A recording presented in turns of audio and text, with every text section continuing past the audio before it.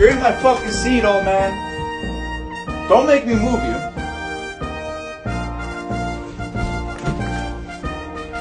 Dad, I backed into your truck. Son of a bitch, seriously?